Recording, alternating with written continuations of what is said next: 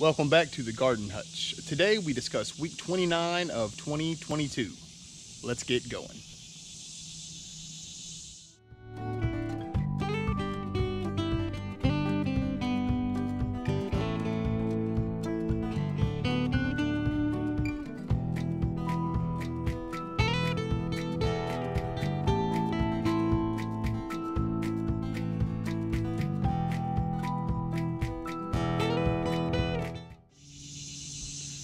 Week 29 was comparable to the four or five weeks before that. Um, little to no rain. Um, the real temperature over 100 degrees every single day last week. What the feels like, the feels like got into like 115 territory. So everybody's in these advisories. It's difficult to be outside after like 10:30 or 11. Um, again, so what we've been doing, we just, I know I say it every week, we just wake up super early in the morning and we end up uh, watering for you know five six hours. Uh, then we try to get all of our trimming done making sure that we have plenty of fertilizer that sort of thing. Um, everything's doing pretty well. We're going to take a little tour here. Um, the thing that i've been doing most during week 29 though is sort of preparing for the fall um, and, and we'll kind of get into more of the reasons as we go but the reason for that is a lot of times a lot of our determinate varieties of our vegetables are coming to the end of their cycle. So we had all of the early crookneck squash that we had early. We've gone ahead and pulled all them, although we didn't get a whole lot out of them late because of the, the temperatures, but we did early get a boat ton of squash. Um, our tomatoes have been doing really good. Um, the cucumbers, as you see behind me, they've been doing really good as well, but the, the thing with the cucumbers is they're starting to sort of trend towards the end of their life cycle. We should have about another two to three weeks of them so I'm, I'll kind of show you what I'm thinking about in the fall. We wouldn't mind getting like another round, if possible, uh, getting like a, a, smaller round of uh, pickling cucumbers uh, going into, uh, you know, like the early August all the way. Hopefully we can get it through, you know, start getting cucumbers middle of August and have them through the end of September just to um, either give them away. I'm not sure how much room we're going to have in the refrigerator because we are just filling that guy up super fast. So um, I think that's about it for the intro. Uh, I think I've probably rambled enough. So let's go take a look at these gardens and I'll show you what uh, a little bit more of what we're talking about. So as we had mentioned, um, we do water uh, just the rosemary here because, you know, we want to make sure that it stays alive. But through here, this mint and all of this stuff, that stuff is drought tolerant. So the roots underneath of it, they, you know, they're going to come back regardless. So we've kind of stopped watering this whole front row. I do once a week come down here and I will um, water our honeysuckle down there just to make sure, you know, we put in a lot of effort just to get our first flowers this year. So we want to make sure that we kind of keep that um, alive.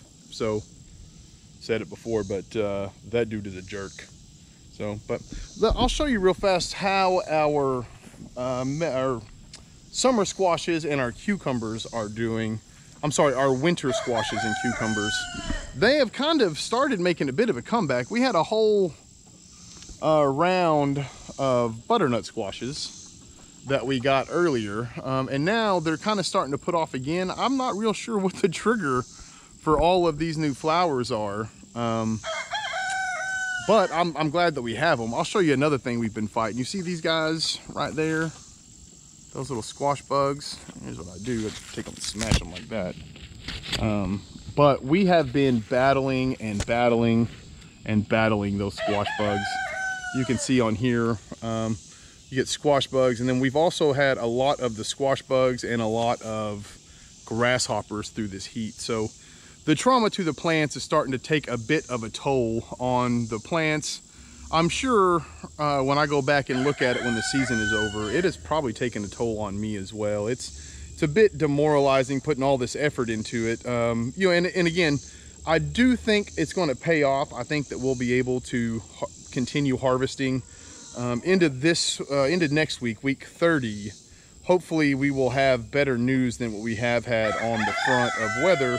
We're supposed to get uh, down into low 90s, upper 80s with the evenings in the upper 60s and we have a uh, better than average chance of rain. So that's gonna help out tremendously.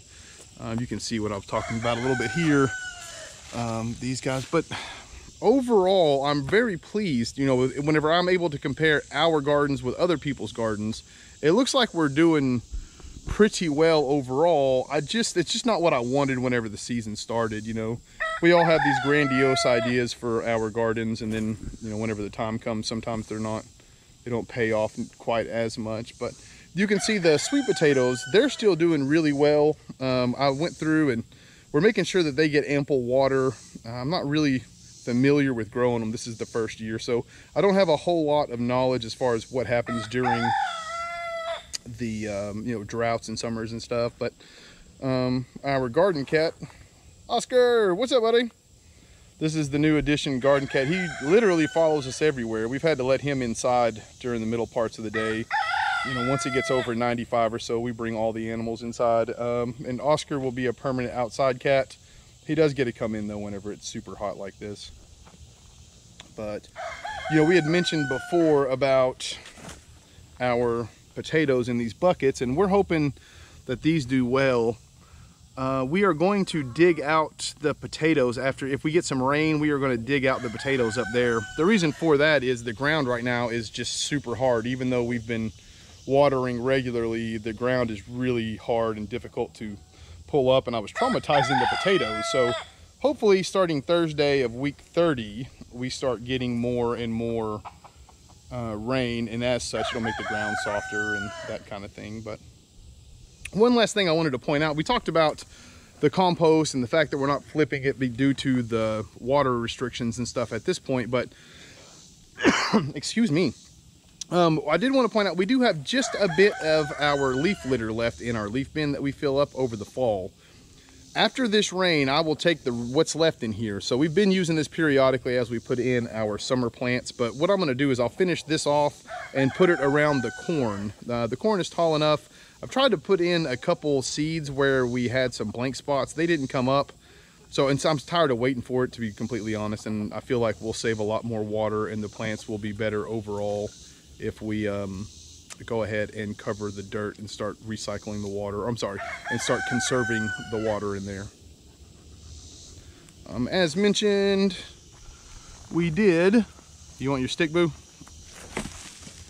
Um, as mentioned, we pulled out the um, early crookneck yellow squash that we had down here. And then, so essentially all that's in this bed down here right now are the eggplants at the end and they're not doing exceptional either. And I think that is a combination of the excessive heat, drought, and the fact that for some reason I did not account for this trellis blocking as much sun as it has blocked this year. So our eggplants are coming off small. Uh, last year they were massive and beautiful. So what we'll probably end up doing is next year we'll take these eggplants and we'll put them in that top garden probably plant them in with our peppers. Here's another of those potato buckets that we've planted and we've tried to make sure they get plenty of water but it's so difficult keeping anything with a lot of water right now considering the overall temperature. Um, the fig tree is doing pretty well. We're not getting a lot of figs. Our the fruit has fallen off of most of our fruit trees even though that I've tried to water them every other week I just don't think I was giving them enough water. I also think that this heat is just not uh, great for having fruit. So the only thing is two of our apple trees do have apples on them. So maybe we'll get some of those. We're gonna find out, I guess, huh? As we can walking up here towards the top garden, I just wanted to sort of point out our pollinator flowers, they're doing okay. But again, the sun has just taken a toll on them as well. Um, you know, they, they periodically throughout the day, they'll come up and they'll bloom and then they dry out really fast. They don't seem to hang around for the pollinators like I remember them doing last year, but I think most of us are having a lot of these issues. And this loofah up here, everything is getting, you know, sun scorched and then it's getting attacked by grasshoppers and such. Now we are able to cover some of our raised beds as they need them the problem is we have these little side beds, you know, the secondary and tertiary beds and such. And so those we did not build with the idea of covering them because we, you know, we didn't anticipate needing them. Um, but that's something that we'll need to rectify going forward. But as you can see through here, this purple hull bed right through here, it's already, it's pretty much done. We left it in just in case because the big garden down there, we still, we have the larger rows of the purple hulls down there. So this is going to be the last week to pick them. This Saturday, uh, we'll pick them and hopefully we get another five gallon bucket, which is what we got this week and the week before. So we're putting up a lot of purple hull peas. My goal for this bed is we'll go through and let's see if we can get down here and I can show you.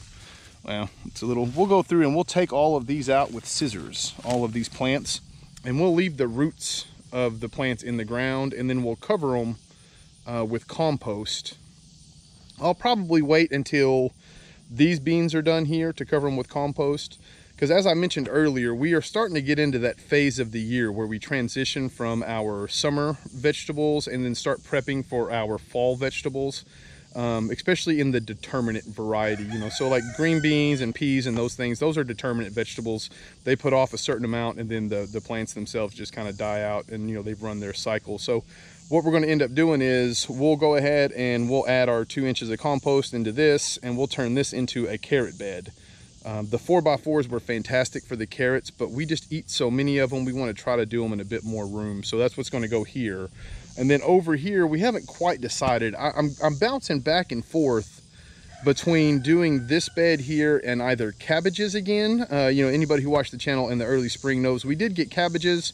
We had to pull them earlier than we wanted because they had some um, fungus on the outside leaves. But I'm hoping this year that uh, we got, or I'm sorry, in the fall, we got a different variety that is supposed to be uh, naturally resistant to that type of thing. So we're gonna give that a shot again, I think. And if not, then what we might do is grow beets in here.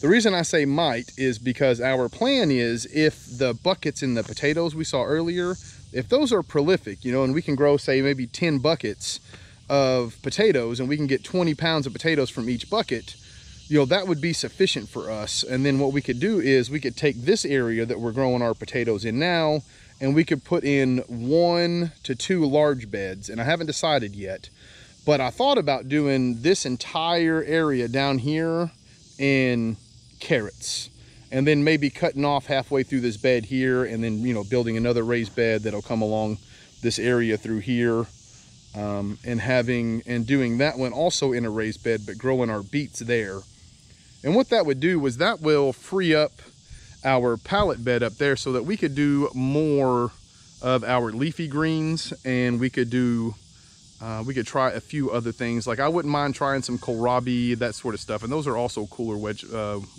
cooler weather vegetables. Apparently I got tongue tied on that. Um, those squash now those are more of your traditional summer squashes. So they're not the early varieties I'm not sure what to expect because we started them I waited to put them in the ground because I was hoping we would get a break in the temperatures, which we're not getting until the end of next week. But I went ahead and put them in the ground. We lost one almost immediately. Um, and you know, the grasshoppers, I came out and it was just stems. Um, so anyway, the grasshoppers got a hold of it, but so far the other ones are holding in well. We haven't got a lot of uh, blooms or anything on them. But what I'm hoping is that um, the winter squash over there getting its blooms and getting new female flowers on it is sort of a harbinger for uh, what we're going to get out of these guys over here. So uh, I had mentioned before about our Romas. You can see we're not getting any new um, flowers or anything on top of these. We've done really well with keeping hornworms and stuff off of them. But usually right around the 1st of August, all of your determinate variety of tomatoes should be done. So in the greenhouse, we have a whole nother round of these Romas. They put off a whole bunch this year. We got a freezer almost full of them already. So I've started them and in that bed, um, that's where we're gonna put the next round of Roma tomatoes. And I'm hoping that we can, you know, even if we don't get a full cycle of Romas, you know, and we hit the uh, frost date before we get the entire cycle, just having a little bumper crop at the end to polish off the freezer or to uh, have some fresh tomatoes at that time of the year will be fantastic. Uh, we have also tied up our beefsteak tomatoes and we are getting new flowers on them and smaller tomatoes what I'm hoping is this change in the weather will kind of um, kickstart the top part growth and then I can bring in some taller bamboo stakes and put them in the middle and then maybe we can get a whole nother round of flowers off of the beefsteaks. That would be phenomenal. I think I addressed the grass growing over here in our last video, but in the middle of the week, we did a picking the garden video to sort of show everybody what we're getting during our pickings for the summer. And I'll put a link of that here uh, on the top, but we also explained through there, you can tell some of this, some of these grass through here, they're like, uh, you know, ankle to mid calf tall. And the reason we did that was we are losing a lot of water to the heat. So what we've done is we've allowed the grass to kind of grow up so that we have a spot in here for our chickens to be able to go. They love going through the grass and eating the seeds out of it and whatever bugs survive in there and that sort of stuff. And to be honest, this is obviously, right now, this is the only spot in our yard that has a whole lot of life. We have birds that love to come through here. Oscar over there in the roses. We, uh, but we have birds that'll come through and drink out of the water fountain periodically. Um, and um, anyway, so this area right now has really paid off. But with the rain coming into this week, I am going to go ahead and mow um, the first part of week 30. So hopefully we can get through that part of it.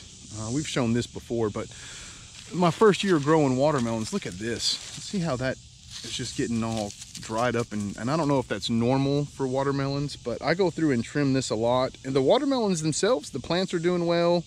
Our fruit is coming along, but some of these leaves, you know, no matter what I do, I come out, they'll be chewed up and just crispy and dying. So I guess as long as the watermelons are going good, next year they'll have their own bed and maybe I can uh, isolate the cause of those a little better that way. But uh, we went through and we pulled, I can't even tell you how many peppers. We had enough to do, I think a gallon and a half of pickled peppers uh, and we gave bags of them away. So again, these guys, um, and I don't know, we'll find out next year because we'll grow them obviously, but I don't know if it's the excessive heat that has kickstarted the peppers. Whatever it is though, we have had an awesome pepper year. We were talking about the, um, the corn and I tried to get right there, you can see a little bare spot in the middle of this one. Um, and I tried to get an extra piece to come up in there and it just simply never came up. So what we're gonna do is we're gonna use, um, as soon as I'm done with this video, actually, I'll probably just go ahead and get the rest of that leaf litter from the leaf bin and just uh, pile it up about a half an inch to an inch on the bottom of this so that we can start uh, keeping a bit more of the water. But the corn is looking good. Uh, we are spraying it uh, consistently. I've never really grown corn, so I'm not sure if it's even worth the time, but uh, because we are going to be replenishing all of these beds uh, in the fall of this year, we decided to go ahead and give it a try to see if it's something we want to grow or if we just want to keep buying it from other farmers. So it's kind of nice to grow your own stuff, but sometimes depending on the room, um, you know, it might be better just to invest a little bit of extra money, buy, you know, 40, 50 head or ears of corn and put those in the freezer for Leslie and I. But you can tell these cayenne peppers are just kicking it. They have gotten a lot of them on there. Uh, the kale is still doing well. We had an infestation on it again. It's been like four times this year that our kale has just been attacked. Again, I believe that's because of the drought and, you know, a lot of the lack of food for other animals and bugs and that sort of stuff. Our Swiss chard is coming along nicely. This one down here uh, it hasn't gotten big, but the small leaves on this are the best in a salad. So maybe the small tender part of it, I'm not sure, but we're loving everything about it. Um, and then the Swiss chard we put up here in the cast iron, it's doing well. Um, we have just now started to take some of the smaller leaves for salads. They're really good. This parsley, we grew it because it came in a seed packet that we had. I really don't use parsley for anything. Um, I like it. I've had a few friends take some of it home with them. I don't know if I'll grow it again next year or not, though, to be honest with you. So we'll have to wait and find out. Um, over here, you can see our, look at these guys. Um, we had two nights this past week that were in the low 70s, and they just exploded with these little clusters. And so it's, you know, essentially those will end up looking like these guys do. Uh, you can see I need to take out part of these. These are the older leaves from the second round. But we're going through, we're getting, I don't know, about two gallons or so of cherry tomatoes every two to three days. And let's go see, you can tell in here, um, our Romas have started to come up. They've been in here for about, I don't know, uh, five or six days. So the important part is, especially with the heat being what it is, are you two playing over there? Leave that poor kitty alone, boo. Um, you can see over here, the, the trick is, is to make sure that these don't dry out and that they're not too hot. So what I like to do is, I keep an eye on the temperature throughout the course of a day and I'll just come out, you know, and um, put the water on these guys. Um, I water them in the mornings and I'll probably water them around two or three. But once it starts hitting that 100 degree mark, um, I'll come out and if they're looking too bad or if I think they're in danger, what I'll do is I'll just take them inside and I'll sit them in a window until, you know, 7.30, 8 o'clock and then I'll bring them back out into the greenhouse. Well, we're going to wrap today's video up here. Um, I would like to just add a few things here. I, I, do recommend going ahead and start to plan your fall garden now. In the fall, we like to plant things like beets, turnips, carrots. Uh, you can put in a late round of potatoes if you want. Um, lettuces. You can try to plant some more uh, kale or chard. They're, they're a little bit better in the uh, heat of the summer. But if you put them in now, you could probably end up getting a pretty good crop. Um, I'm trying to think if there's anything else that we're going to plan this year. I'll put them all in the next video if there's anything I forgot. But what I would like, the reason I bring this up is it's a good time to go ahead and start grabbing your seeds now. Uh, who knows what the future is going to hold from a weather standpoint, but a lot of people ended up having their gardens burn up because the entire U.S., I mean, no matter where you live, the entire U.S. has been under weeks and weeks of strain from heat and drought, that sort of stuff. And so in my head, what I'm thinking is, is that if it turns off nice, you know, say, I don't know, middle of August or so, it takes a turn to where it cools off, you know, and we get like an early fall type thing. I have a feeling there's going to be people who are going to try to compensate the lack of vegetables there at the end of the year. And so what you don't want to do, you don't want to find yourself in a spot where you're short on compost or you're short on seeds and you and your family would like some extra food to eat. So just throwing that out there. Um, another thing is make sure that you are watering your pets. And, and I noticed this because I went back and I watched uh, the last few videos that I did and I constantly tell people to make sure you're hydrating, make sure we water our gardens. Uh, we were talking to our neighbor the other day and he was telling me that um, his chickens ended up somehow getting a hole in their water bowl. Um, and they were at home for like two and a half hours and he keeps his cooped up. And they were in there for like two and a half hours with no water and he was really surprised that he didn't lose any. Anyway, him saying that, it just got me thinking, you know, that's not something that I really uh, throw out here on the channel a lot, you know, watering your pets and that sort of thing. So just make sure that we're keeping ourselves cool, we're keeping our plants cool and our pets cooled and watered. Um, also, you know, if you have livestock, chickens, goats, pigs, cows, any of that sort of thing, you know, they're going through the same thing the rest of us are. Um, and the last thing that I do want to say is we are going to try to film the big garden here in a couple weeks. Um, I have some ideas that I've been bouncing around. Anybody who watches the channel knows that I, I like to bounce ideas around for a few months before I actually implement them. So we're hoping that maybe if everything works out well, that instead of doing raised beds in the big garden, we can kind of do something a little different. Um, I can shape it up and just use like in-ground beds because the purple hull peas down there are doing fantastic. And I think from now on, we'd like to grow that many purple hulls. We're gonna see how they last through the fall and such. But if they do as well, if they last as long as what we think they're going to, um, it's gonna be a, a really good addition to the homestead. With that being said, I would like to say thank you to all you folks who have made it here to the end. We do appreciate it. If you enjoyed this video, consider giving it a like. If you have not, please subscribe to the channel. It goes a long way in helping us reach our goals, and it's free for you. Until next time, I hope that all you folks take care of yourselves, stay cool and hydrated,